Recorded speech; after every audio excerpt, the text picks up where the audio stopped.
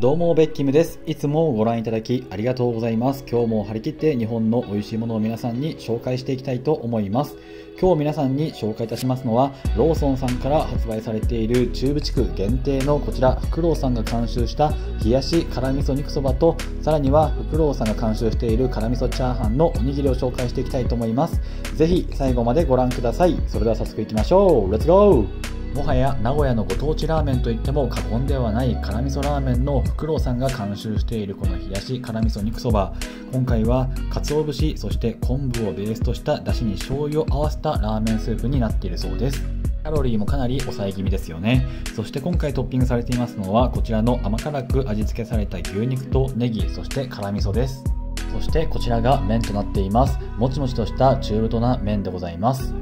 そしてこちらがカツオと昆布から出汁を取ったスープそして刻み海苔です。それでは早速食べていきましょう。さて見た目が非常にさっぱりとした印象でこの夏の季節にとても合いそうな冷やしラーメンです。そして麺を一口すすってみますとこれがまた非常にさっぱりとしていてとても食べやすいです。麺ももちもちとしていて非常に美味しいですしトッピングされているこちらの牛肉の甘みも非常に感じることができてとてもバランスの取れた冷やしラーメンとなっています。フクロウさん特製の辛味噌も入れたんですがややパンチ力に欠けるかなといった印象です。辛いものが好きな方には少々物足りなさを感じてしまうかもしれません。